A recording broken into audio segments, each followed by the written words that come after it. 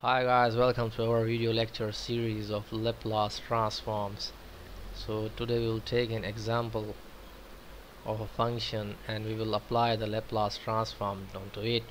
So let's take a function that is function of t is equals to e to the power negative t sine of 2t multiplied by t. So for a function multiplied by t the Laplace transform of a function when multiplied by t is given by negative 1 to the power n dn over ds power n into function of s.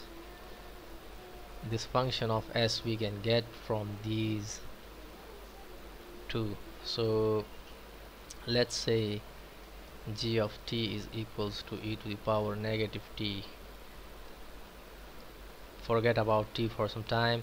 And now when we'll take the Laplace transform of this function from our previous videos we can see that the Laplace transform of this function is nothing but 2 over s plus 1 whole squared plus 4 now the Laplace of t e to the power negative t sine 2t will be equal to minus 1 and the power of t is 1 here so minus 1 to the power 1 and d over ds only derivative one time because the power of t is 1 so multiplied by function of s that is this function.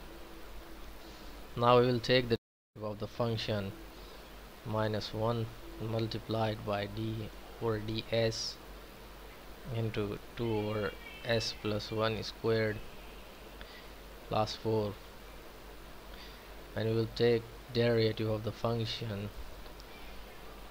We will get negative 2 multiplied by 2 times s plus 1 divided by s plus 1 whole squared plus 4 whole squared now on simplifying we will get 4 over s plus 1 divided by s plus 1 whole squared plus 4 whole squared.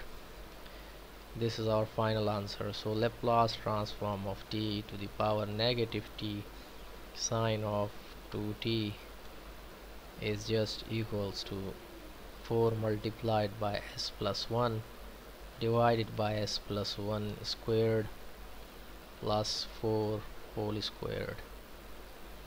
So that's all for the time being